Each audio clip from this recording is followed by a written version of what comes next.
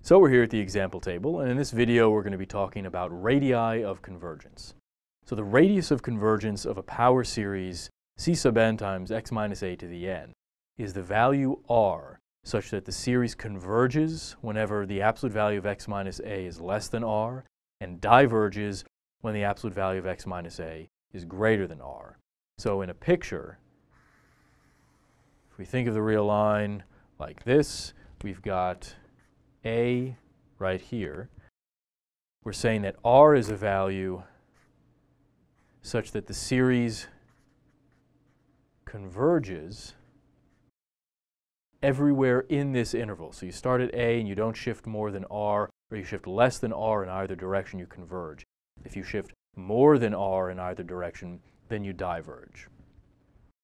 And in fact, all power series have a radius of convergence, which might be infinity, which means that it converges on the entire real line, or converges only when x equals a. And note that when x equals a, all these terms are zero.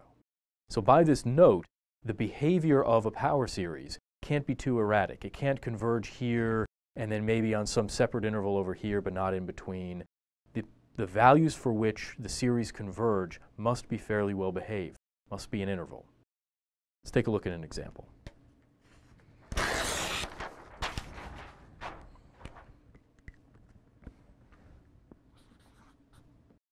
So let's find the radius of convergence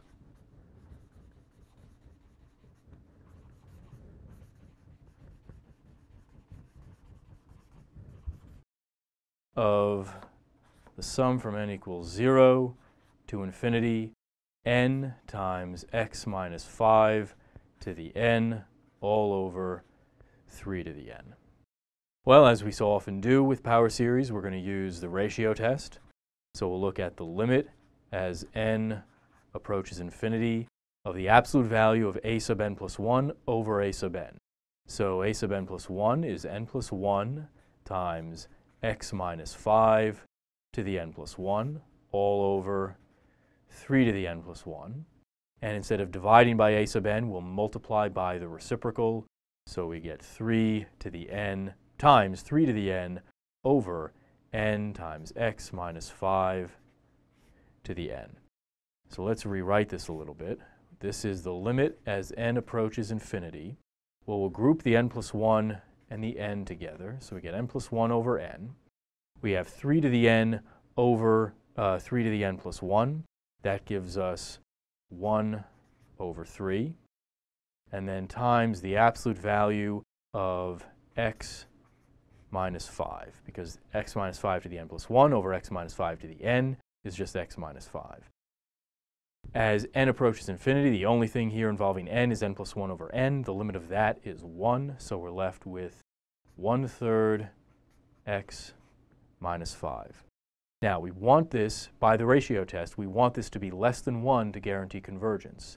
So 1 third x minus 5 is less than 1 if and only if x minus 5 is less than 3. So x minus 5 less than 3 is equivalent to this, which means that 3 is our radius of convergence.